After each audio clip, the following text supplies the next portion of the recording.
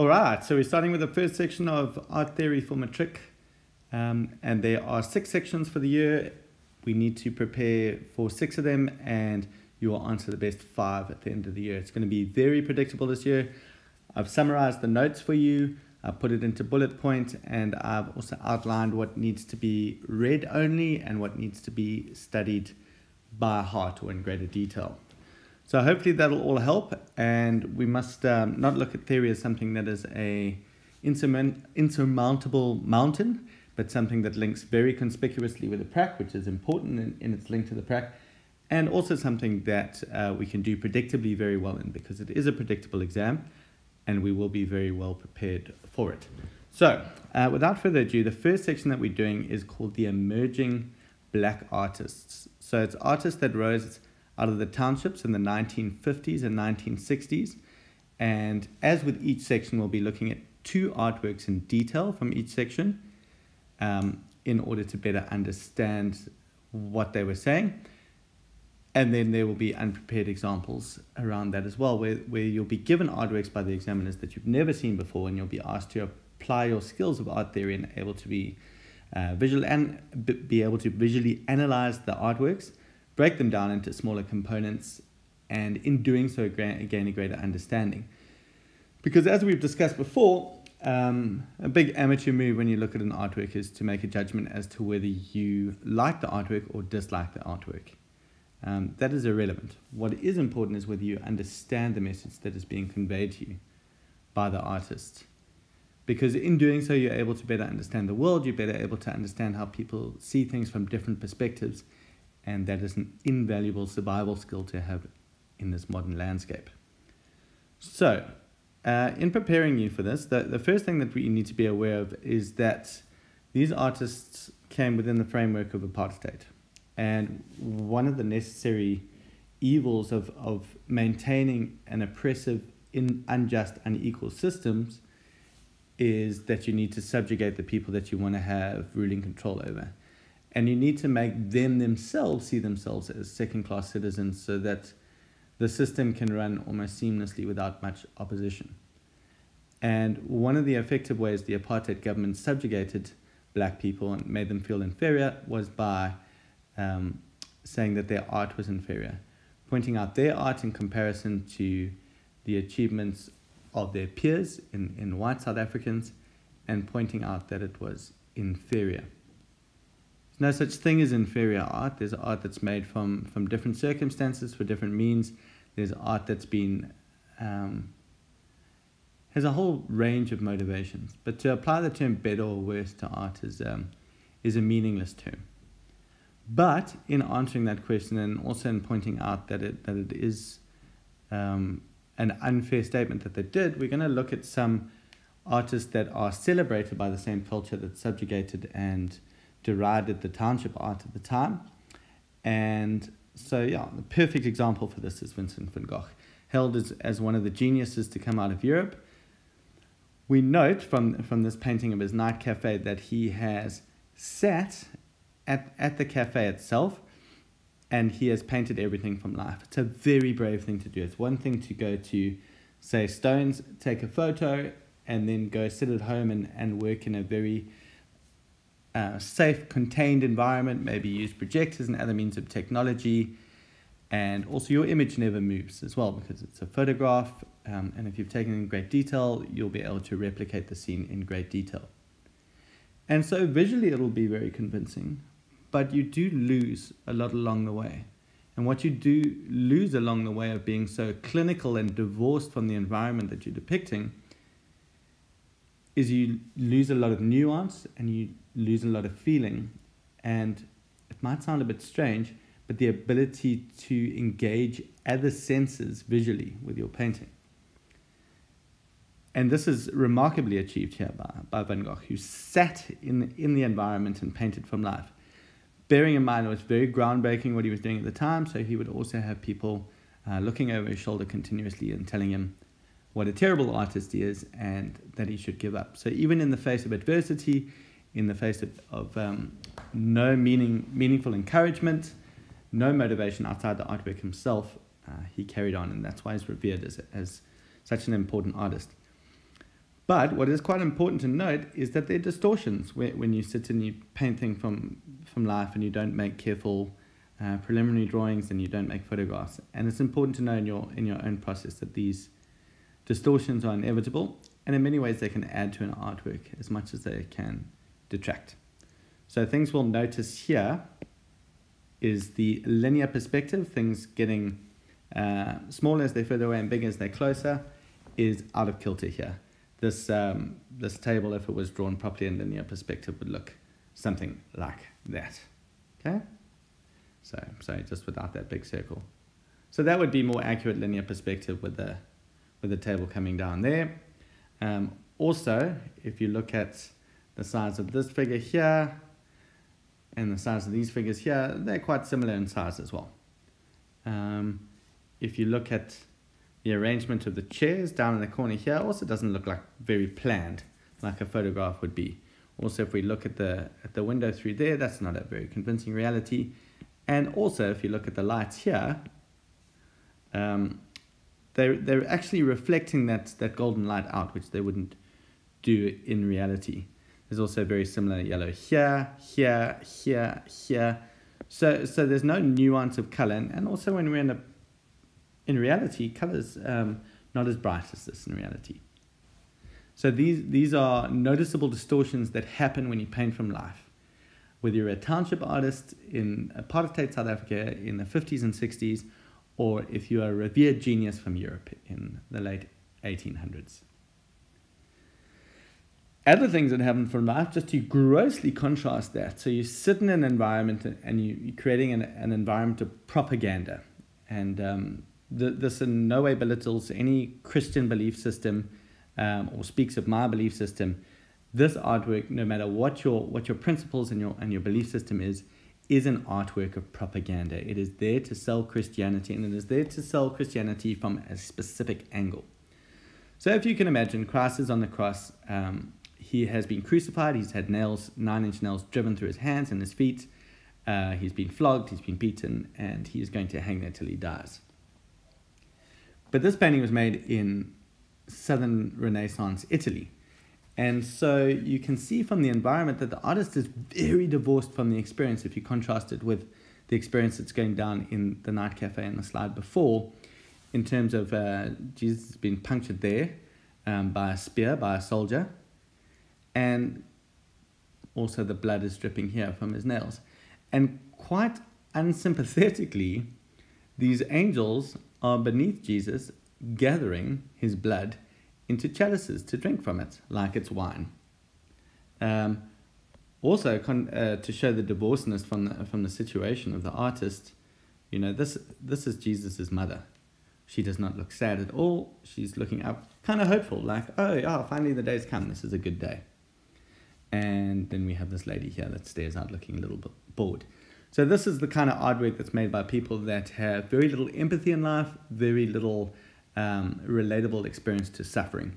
So when they depict suffering, they depict it like it's a wine party. Then we also have other um, 20th century modern art revelations, such as Matisse here, with his Madame Matisse with green stripe, where the colors are unnaturalistic, it's flat, decoratively applied, applied paint. Bearing in mind a lot of these revolutions or, or revelations, sorry, is a better term for it, by these modern 20th century white European artists were founded on African art pr- principles. And for the first time, looking at African art not from a, from a position of superiority, but looking at them from a position of peers and learning from them. And I think in our mindset, that is very important to note that whether you're part of the African culture, whether you're part of the European culture, or you're part of an um, an Asian culture or a, a combination culture, wherever culture you come from, there's no better or worse. There's actually no superior or inferior. There's differences, and when you open your perspective up to those differences, you can learn and improve your own life. Similarly, um, German expressionist art, very visible brushstrokes, um, unnaturalistic color application. If you look, this lady's face is green, the street is pink etc., etc. These are all influences of African tradition. divorcing oneself from naturalism in order to depict a reality that is depicts more senses than one. So this is what a traditional white artwork looks like from South African times in the in the early 20th century. So very very important that the artist still maintain that it's beautiful landscape, but even more conspicuously that it's always very quietly populated landscape by maybe one white settlement. Here we see again unpopulated landscape, the land of opportunity. Traditional African painting is quite the contrary, whereas the those sort of European paintings, it was very important to show landscape and, and make it seem like those landscapes were vacant, like they weren't intruding on any land and that there were no natural inhabitants there at the time. At the same time, African culture is, is um, celebrating its cultural identity. Now, if you cast your mind back to grade 10 and you remember one, one of the characteristics of traditional African art is that there's no individual identity. Individual identity is not celebrated. So we can't tell who's, um, who's who in the zoo here uh, from the tribe because they all look the same. Because they're all peers, they're all equals, and it's not important what their individual identities are it's more important what their cultural identity is. Also, on top of that, if you look at the background, the landscape is irrelevant because this is seen to be an eternal scene that happens anywhere, at any time, with anybody combining into the scene. So the cultural identity is celebrated in a timeless landscape. And the center of African art is this humanism, this human struggle, this this notion of unpicking spirituality, unpicking what, what the inner consciousnesses of people. This is first and foremost in their minds. Again, we'll see the ladies here, and yes, there's a bit of individual identity expressed in their dress, but we see them from behind, and so we can't tell who is who, and they're all doing very similar activities in very similar dress. Again, celebrating a cultural identity. So we're going to move on to the two prepared examples so it's important to note that you, as we're going through the notes, you'll see an RO above um, certain sections. That means read only in order to gain an understanding of the section. Doesn't mean ignore it completely. And BH, that means study those bullet points by heart. For each prepared example, you'll be asked to give six points plus the title of the artwork in order to do very well. And if you're able to do that for both artworks in each section, you can predictably get 100% for half of the paper. Sounds easy? Yeah, it's, uh, takes a bit of graph for sure, but it's uh, not rocket science. Okay, so uh, just to get, give you a flavor for Sekoto, this is not a prepared example, this is one of his artworks called Yellow Houses. And so you see it's a typically township scene.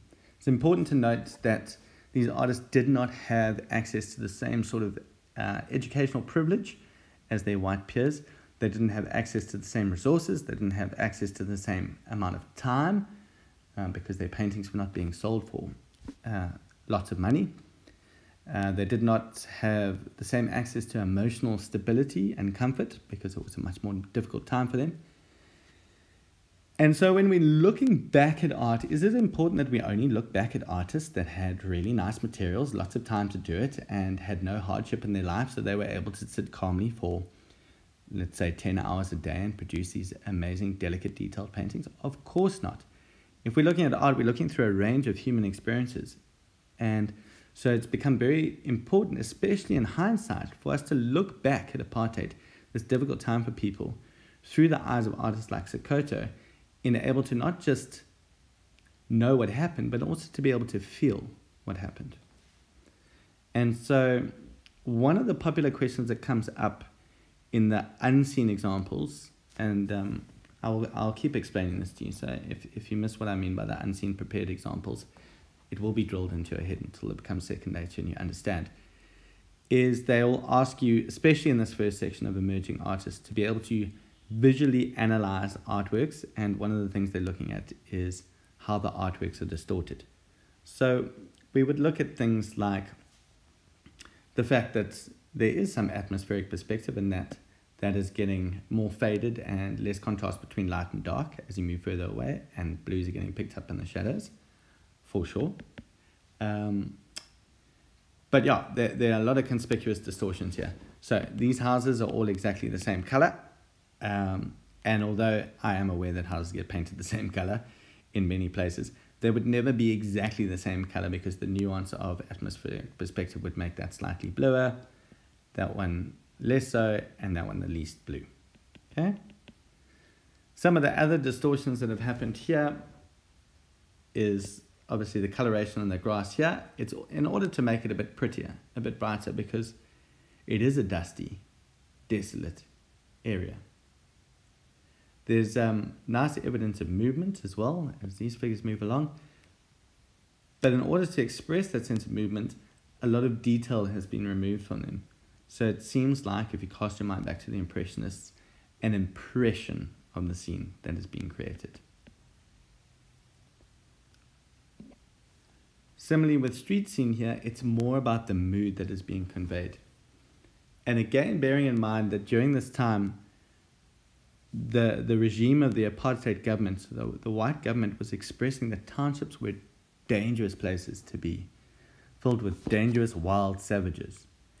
And so scenes of quiet reflection by, by artists like Sekoto, where he shows that a woman can stand outside and hold her baby and be supported by the community. That there's a golden glow to the area. That although these people have very little resources and very little access to um, monetary comfort, they are still living in harmony.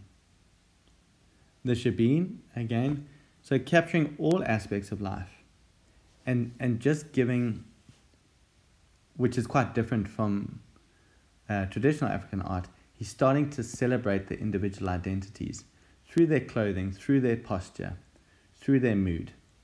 And then also, and this is what he's been heavily criticized for, is doing it in a way that seems idealistic, in that this, this is probably prettier than a Shebeen would have been. It wouldn't have had these uh, dynamic purples being complemented by these yellow colors. So things like that make it more attractive. The reason why he did that is because he was compelled to sell his artworks, but he also wanted to bring dignity back to the township. Do you understand that if you're in a place and you've got no escape from it, it's no point telling everyone, oh, you live in the in the worst possible place all the time. You need some people to celebrate your dignity and go, look, it's terrible. We're repressed. We're in a terrible environment. It's out of our control. But within that, we can find dignity. We can find kindness. Um, we can find respect for each other. Things that can never be taken away from us. And so that was his overriding message. Similarly, the prison yard, you'll see um, one of the characteristics of Sekoto's style is you've got the, the white man who is in separate uniform from the rest of the black community, who are often seen to be um, together and facing the hardship together. Okay, this is the prepared example. You need to know this title, Song of the Pick, and you need to know that it is by Sekoto, spelled like that. So, without further ado, let's go check it out. So, this is a Song of the Pick by Sekoto. It's our first prepared example. So, as we go through the bullet points, here are some of the bullet points. So, this man here is a white foreman and he's an onlooker and he is passive. His hands are in his pockets and he's smoking a pipe. So, he's not doing anything. He is seen to be the person watching over the labor. Then we have this row of black workers in a strong, strong diagonal lines are created, of course, by the linear perspective. But what it also does is it, as we know from, from what diagonal lines do, it creates a dramatic sense of movement. Bearing in mind that Sekoto's paintings were targeted at a white audience, because those were the people who had access to the resources and the money in order to buy the artworks. And so, what Sokoto did was very clever is that he used to hide a lot of messages in his artworks. So if you're the apartheid government, you could actually have this as a propaganda poster for apartheid. You can go, this is this is the ideal South Africa. We've got in less numbers, we've got white people, um, and I'm not saying this is my political views, of course, because is a very warped, distorted view. I'm telling you what the apartheid view was. The white intellectual onlooker providing the brains to the operation, and then the larger population of black people providing the labor. So this seems to show apartheid in a good light. And on top of that, you've got um, beautiful colors. You've got ground, which is normally um, brown, uh, which now has all these nice violets and pinks and it's being complemented very nicely by the yellows back there as well. But what's happening simultaneously on top of that is Sekoto is going, look, we work hard, and although we work together, that's why no individual identities are shown there, their faces are turned away from the camera, there is some individual identity in their clothing being different. So I'm getting a bit addicted to circling everything, I think. I'll, uh, I'll hold back on that. So yeah, so the individual identity is still being celebrated through their clothes. The title Song of the Pick already should be evoking a notion in your mind that these guys are doing it to a song. So they're working in unison and harmony, and they're doing it with a sense of dignity um, and a sense of duty. So now we move into some of the hidden symbols. So they're working with these picks, and you know, the apartheid government's not going to rush in and arrest Sekoto for showing a whole lot of black people working very hard with their picks. But what it is, if you look on um, the flag of the Union Soviet Socialist Republic, which is what Russia was when it was still communist, or the Chinese flag, which is still communist to this day, this pick is a, is a symbol of communism. It's a symbol of hard labor and working together towards a common goal. And communism was the enemy of apartheid because communism implies that everyone is equal and that everything should be shared equally. Also, on top of this, so very unthreatening to the white person because this foreman, so just to circle again, is standing on his own, very unthreatened, very passive, watching these other guys work. But there's nothing stopping them from all working together and striking him down. And if you just slightly change your perspective from this, you can see it from dual perspectives. You can see it as someone having control over this um, almost machine, uh, metaphor for machine that these black workers have become. But you can also switch your mind to see this machine, these black workers, as raised, ready, working in unison, and striking down the foreman and overthrowing his power. Okay, second prepared example. George Pemba, and his artwork is called Terror and he holds back a lot less. He paints a far more devastating version of apartheid. So I think the first thing that needs to be recognized is this is a, a very intellectual painting. Um, and I get quite upset a lot of the time when I, when I teach this to matric classes because um, often, not the whole class, of course, but at least one individual will think that uh, George Pemba didn't intend all of these things. Um, he did. He was um, a strong intellectual and he studied artworks vigorously. And although he didn't have access to formal education of art, he took the intuition to do a lot of that on his own. So, let's look at a few things. So, these guys here they're in uniform. They are seen to be the police because they're in, in uniform and they're blue and they're armed. So the police are, are supposed to be there to protect you, but they're doing the exact opposite. They are attacking unarmed people in a train. So it would be instantly recognizable as well, and, and this is thankfully before your memory, but certainly during my memory, when I was at school, there used to be first class and third class carriages and only first class carriages were only available to white people, and third class carriages were only available to people of color. Um, and they were different. There was much nicer seating in first class and uh, bucket seating in, in third class. Where's second class, you might ask? Yeah, they wanted to separate people that much that they pretended like there was a second class, even though there isn't a second class. Just there is first class or third class. Those are the only two options. So they're in a third class train carriage. So that is definitely not the place for police to be gunning people down. It's a claustrophobic, contained environment. But Pemba does show that there is some hope if you look at these windows and the view that's going outside there, that there is some escape. Um, just not for these people, but, but he has imbued it with some sense of optimism. This main figure that's standing here, he's very conspicuous because he's wearing a white shirt. So that so that's um, already highlights him in the picture. It also enables us to easily see that he has been shot and he's got blood spilling from there. So here's the central figure. Here, here's the focal point. His arms are spread out like they're in the crucifix pose.